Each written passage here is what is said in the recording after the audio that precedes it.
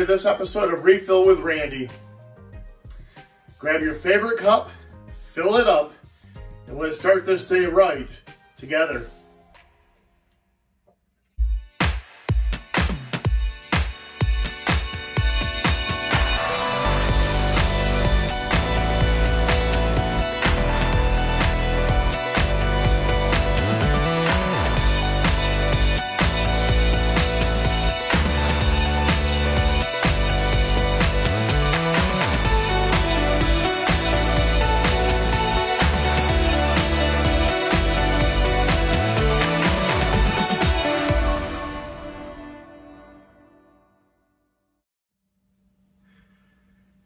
Well, it's good to be together again today.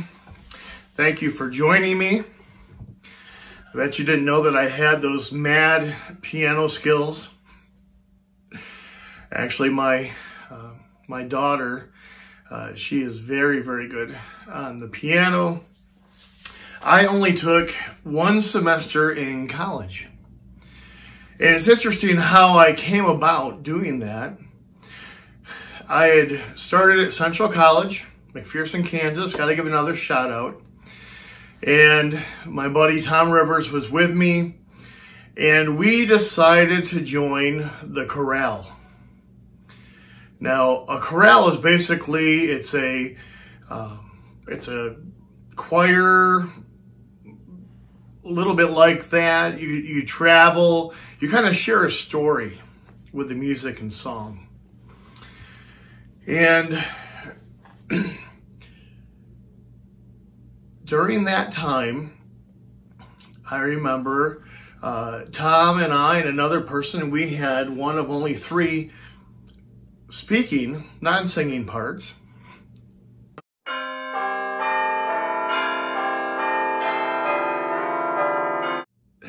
And at the end of that semester, my professor, uh, Sylvia, I hope you're watching.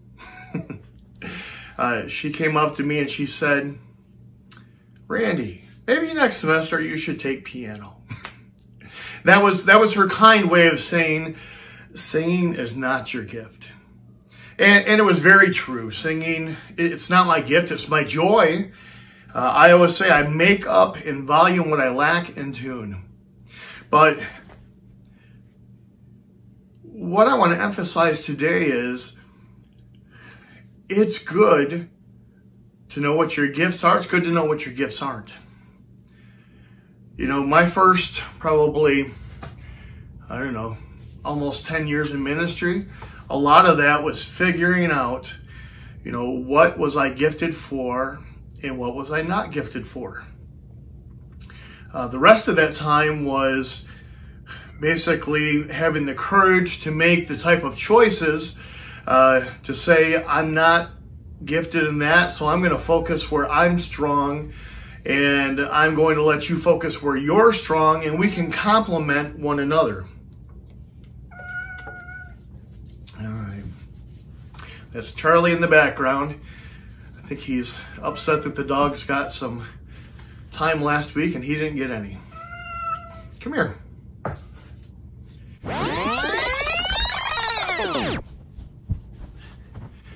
This is Charlie. He is our our youngest of all the kitties. He's also our hunter. He likes to bring us stuff every day, usually around dinner time. But right now he really wants to go out.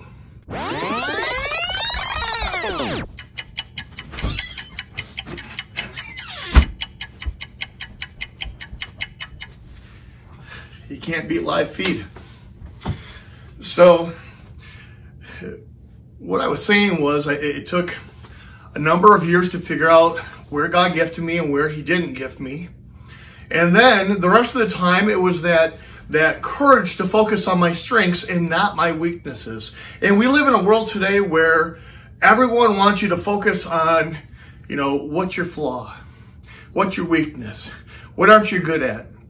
You know, you just need to work harder. I, I can't tell you how many times someone said, oh, well, you know, you say you're not good at working with your hands, but you just have to try. Or you're not good with this, or you're not good with that, but uh, you just have to do this.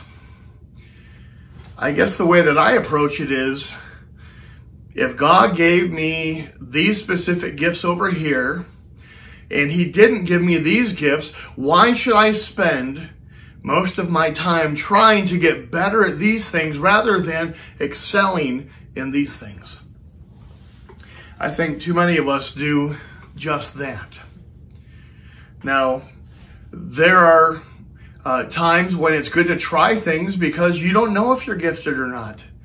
You might think you're not. I've had many times where someone, they've, you know, said that they would do something and they tried it out and they just fell in love with it. You know, for me, when I started in ministry, uh, I originally thought I was going to be doing youth ministry, partly because I was pretty much a youth myself at the time, and I didn't know as I could lead adults. And so I, I started off that way, and and I loved the time that I had in youth ministry uh, at Pierce, uh, at Covenant Acres Camp, at Cattaraugus Camp. But what I found was that that wasn't my my main call. Uh, it was something I enjoyed, and I think I was good at um, in bits and spurts, but but not all the time. And so I, I'm thankful to still have opportunities to do some things with youth, but um, that's not my, my full-time gig. Um, God is, has gifted me in other ways. When I was in Warsaw, those two years were instrumental in me becoming the, the pastor and evangelist that I am today because uh, I got to try so many different hats on.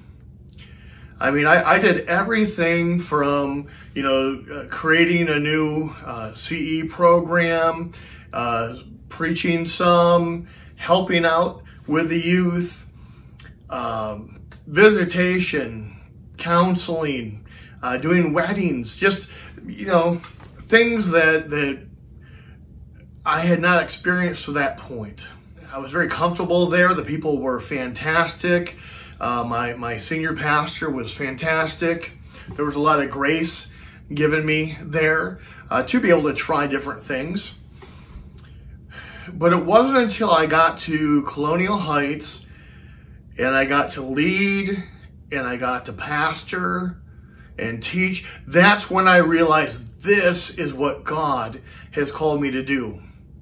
And I couldn't do those things uh, for the most part at Colonial Heights because that was the lead pastor's uh, position. That's what he was uh, supposed to do. And so, you know, even though I was comfortable, God, he took me and he put me somewhere else where I could be the lead pastor and I could explore those gifts that he has given me. And from that time on, uh, I have just, uh, I've done whatever I can. I've gone back to school. I've did my, my master's. Uh, I did doctoral work. Uh, I got my caps from NES. I, I you know, I, have preached again uh, around the, the world in many places, let alone around uh, this area. And it is just something that, that sparks joy in me to be able to do. Uh, something that I, you know, realized about halfway through my ministry was uh, even though I could do administrative things and, and to an extent I have to do them, uh, I realized that that did not give me joy. You know, sitting in the office did not give me joy. Uh, being with people, being able to, to share the gospel, to be able to share joy with others, be able to, to give them good news of Jesus Christ, that's what really um, fills me. You know, that, that refilling, you know, the Holy Spirit refilling me every single day, waking up with a passion. Things like this, being able to use uh, my, my creative outlet. Um, these are things that fuel me. And so what, what I want to share with you today is that uh, if you don't know what your strengths are, if you don't know what your gifts are, explore them. Try different things. You know, on the, the, the Christian side of things, you can take a spiritual gift inventory. Uh, but th- this doesn't just apply to spiritual gifts. You know, what, what skills do you have? What things make you want to wake up with passion in the morning? You know, don't let someone else tell you that you need to spend all your time focusing on something else. Yes, there's no such thing as a job that doesn't have pieces that we wish we didn't have to do.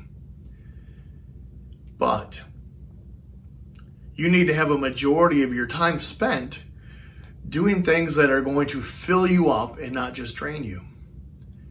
And so have courage today. Take that step. Focus on your strengths. I've always loved the quote by Reggie McNeal. He said, the best leaders are imbalanced meaning uh, they're they're growing over here where their strengths are rather than trying to just even things out along the way. And so today, uh, I pray that you will be imbalanced. I pray that you will start to know, if you do not already, the, the joy that it is to be able to uh, focus on your strengths and allow God to use you the way that He made you to be used rather than the way that someone else may expect from you. Have a great day.